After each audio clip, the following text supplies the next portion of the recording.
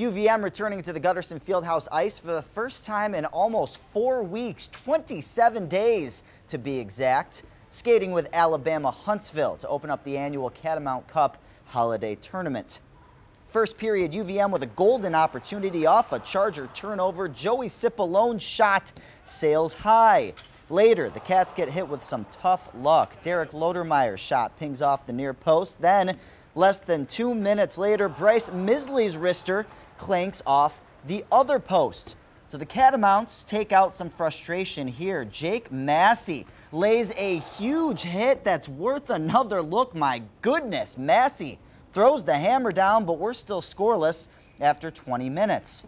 Early in the second period, Cats finally find the scoreboard. Huntsville with a costly turnover, and Cipollone cashes in. The freshman buries the goal, and UVM takes a 1-0 lead. So with a lead to protect, it was up to Stefanos Lekkas between the pipes, and the junior was up to the task. Lekkas stopped nearly every shot sent his way. He allows just one goal on 15 shots total, and Vermont skates to a 4-1 victory to open the Catamount Cup. UVM will take on RPI Saturday night. Puck drop scheduled for just after 7 o'clock